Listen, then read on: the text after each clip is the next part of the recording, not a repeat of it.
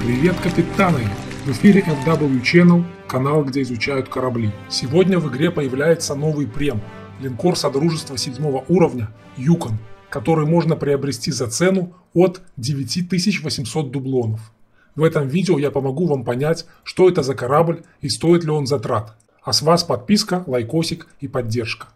Про Юкон я уже делал видео на этапе его разработки. С тех пор у корабля мало что изменилось. Но зато теперь можно делиться впечатлениями от геймплея.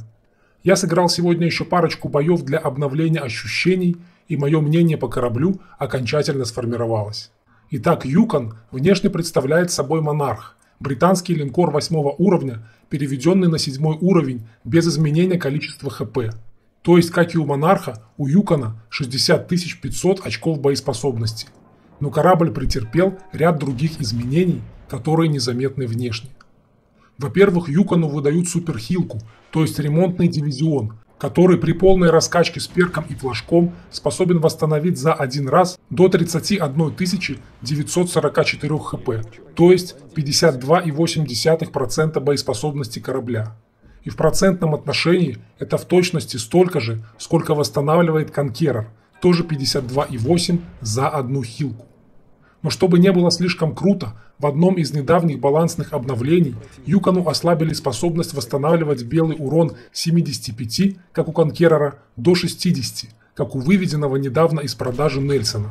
То есть на уровне больше нет других кораблей в продаже с такой мощной хилкой.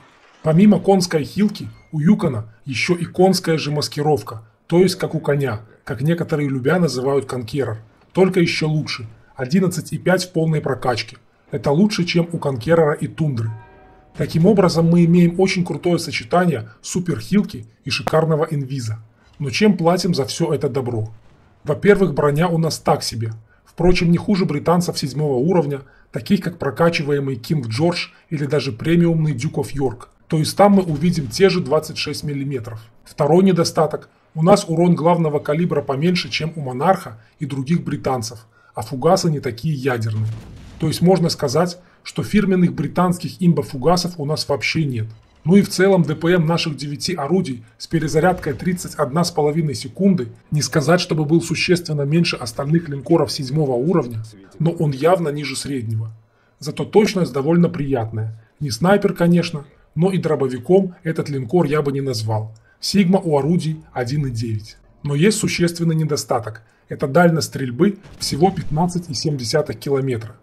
Правда, у нас есть корректировщик, который может временно частично решать эту проблему, но все равно дальности стрельбы, конечно, нам будет не хватать при обычном стиле игры.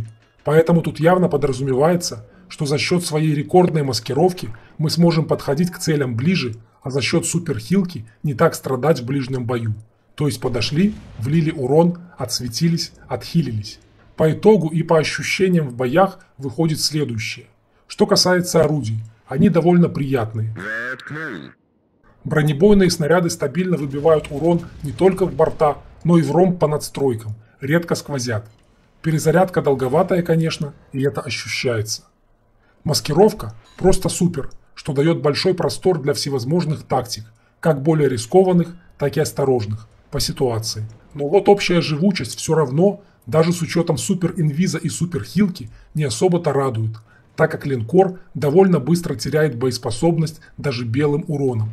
если в начале боя суперхилка лечит реально круто, то затем ее сила ощутимо уменьшается из-за восстановления только 60% белого урона. И тут проблема Юкона не столько в нем самом, сколько в засилии, даже на седьмом уровне, довольно мощных и пробивных линкоров типа Синопа, которые вертят нас как хотят. Я бы сказал, что по ощущениям Синоп без суперхилки ощутимо более живучий, чем Юкон с суперхилкой. Конечно, Юкон помогает себе маскировкой, но на седьмом уровне боев от линкора требуется другое – возможность продавливать фланги, а не прятаться. Тем более дальности для настрела издалека у нас нет, ядерных фугасов тоже. И вот мы завязываемся в бой и быстро отгребаем, и остается только надежда на отсвет и хилку. В общем, несмотря на все довольно яркие достоинства Юкона, тот же Синоп мне нравится больше. Некоего подобия моего любимого конкерера, но на седьмом уровне, из Юкона не вышло.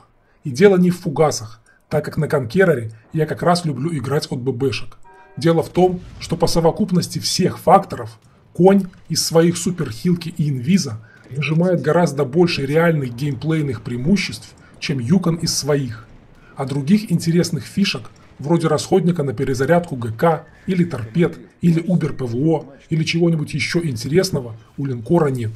В итоге Юкон вполне достойный и приятный линкор, уровня выше среднего. Но в моих глазах он не зажег. И в бои седьмого уровня я бы лучше выбрал ряд других линкоров, которые могут круто тащить и дерзко нагибать. То есть все, как я люблю. Надеюсь, эта информация поможет вам принять свое решение. А в ответочку вы поддержите канал через донатку или спонсорство. Всем удачи, крепкого здоровья и до новых встреч в эфире. С вами был Супер Джедай.